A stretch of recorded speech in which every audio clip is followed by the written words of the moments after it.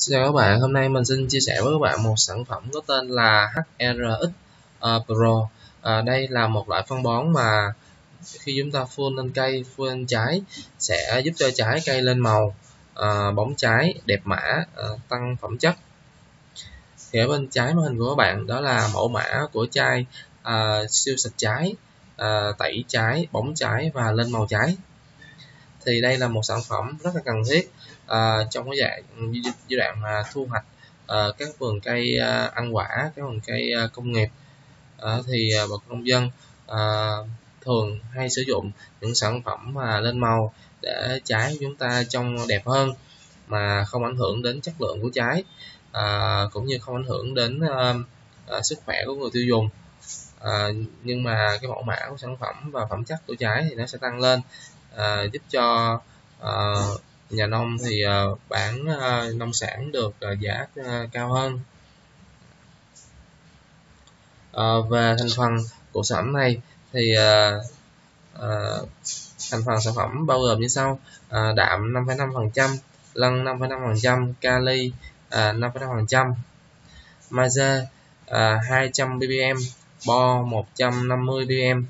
à, vitamin B1 uh, 120 ppm uh, chất vi hiếm vừa đủ.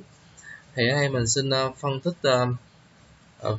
sâu hơn về uh, tổng quan về thành phần của sản phẩm này. Chúng ta nhìn vào tổng quan thì chúng ta thấy được uh, sản phẩm này có đầy đủ uh, đa trung vi lượng và uh, siêu vi lượng. Uh, chất vi hiếm nghĩa là siêu vi lượng các bạn.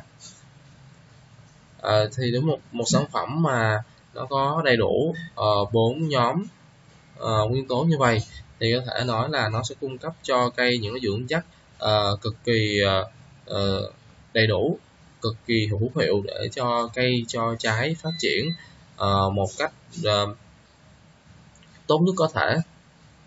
Thì với hàm lượng đạm lân kali uh,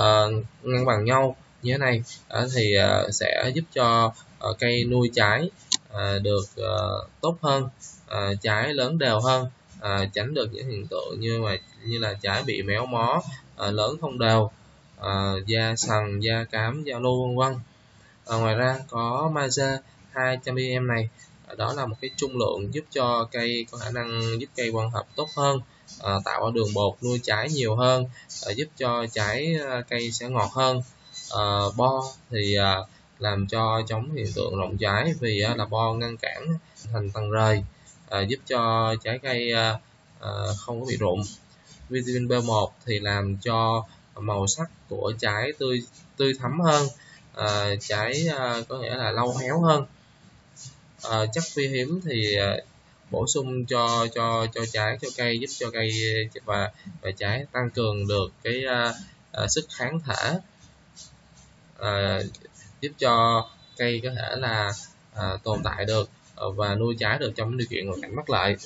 Về công dụng thì à, HRX Pro là một sản phẩm phân bón với các hoạt chất nano thông minh thấm sâu vào vỏ tế bào của trái, bảo vệ trái khỏi virus sâu bệnh, vi khuẩn tấn công trên trái, à, giúp cây có nội lực kháng lại những điều kiện hoàn cảnh bất lợi, tăng phẩm chất nông sản, trái đẹp lên màu, tránh các một số hiện tượng như là da lu da cám, sọc ếch trên trái cây, à, giúp cây phòng bệnh à, một số bệnh như là ghẻ trái nám trái lem trái nấm bò hóng. À, giúp cây chống lại hiện tượng rụng trái non thối trái héo cuốn. À, tránh được hiện tượng à, trái bị méo mó à, lớn trái không đều à, vỏ trái sang sùi thì à, sau đây mình xin chia sẻ với các bạn hướng dẫn sử dụng. Thì đối với cây trồng là cây thanh long cam chanh quýt bưởi sầu riêng vú sữa bản cầu ổi mặn mít dâu tây táo sabo uh, dâu hạ châu. Thì uh, cách uh, lượng phun thuốc đó là khi cây bắt đầu tượng trái non và đến khi thu hoạch thì chúng ta phun cái liều lượng đó là 20 đến 25 ml trên bình 16 lít nước.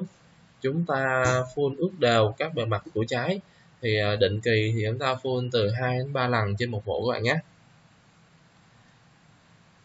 Đây các bạn mình xin nhắc lại cái liều lượng đó là chúng ta phun liều lượng đó là 20 đến 25 ml trên bình 16 lít nước thì à, cái chai này 500 ml á, thì chúng ta pha cho hai phi mỗi phi 200 lít thì đến ra chai 500 ml này pha được 400 ml các bạn nhé. Thì video mình chia sẻ về sản phẩm HR Pro uh, phân bón lên màu trái đến đây là hết. Xin cảm ơn các bạn đã dành thời gian theo dõi